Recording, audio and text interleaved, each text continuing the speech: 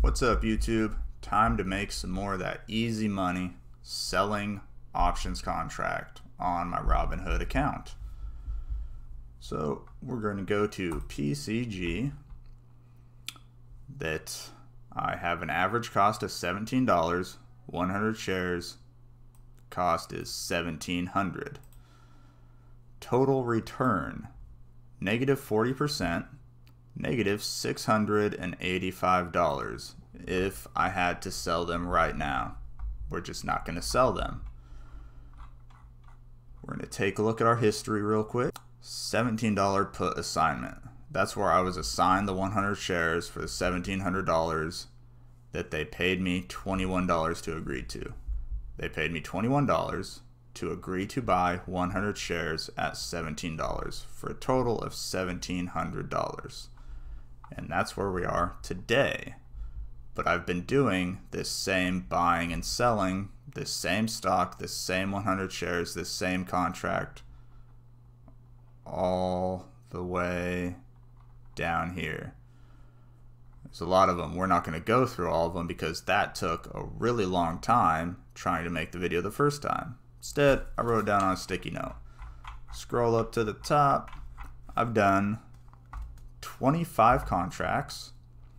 They've paid me $426 over those 25 contracts, which I minused from the $1,700 position that I currently have, which I've been rolling that same dollar amount for three months since December.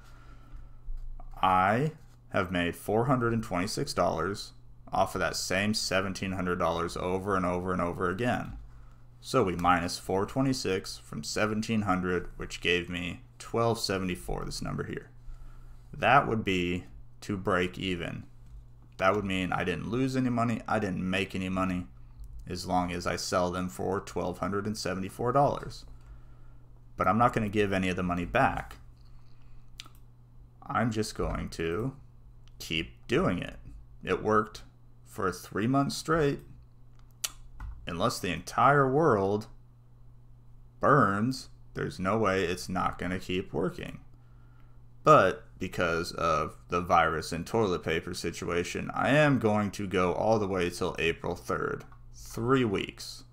Three weeks from now is when we're going to make the contract to sell them again. Sell call.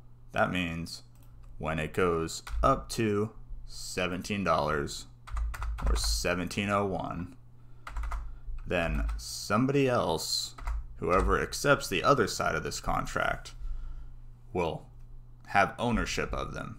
They will pay me the $1,700 that they're agreeing to, just like I paid the $1,700 I agreed to. But I'm going to get paid $25 is what I'm going to put my price at. I'm going to get paid $25 for making the contract for April 3rd. Three weeks where I don't have to do anything, which is what I'm best at, not doing anything.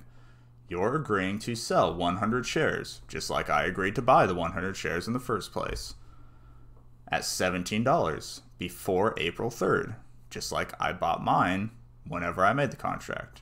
If you are not asked to sell them, because if they just don't want them, they don't have to take them. They're paying me $25 to reserve them. They own them if they want them. If, what's it, April 3rd comes and they're like, wow, it's not worth $17. They don't have to buy them. I just hold on to them. If you are not asked to sell PCG by then, you'll keep your collateral, my 100 shares, and the full credit, $25 for doing nothing.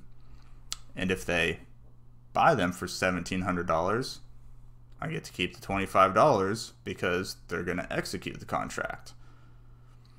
So we just hit submit, done, and Monday, hopefully, that goes through and then I just wait three weeks, and then I either sell another call for whatever amount of money 25 dollars 18 9 doesn't really matter. Free money's free money. I'll take five free dollars. I'll take 95 free dollars. I'll take all the free money there is. So i will probably make another video around April 3rd when they're going to pay me more money, either to buy them back because I just sold them, or they're going to pay me more money to keep giving people the offer and the opportunity to buy them. Or I will then take the opportunity to get paid to buy them again.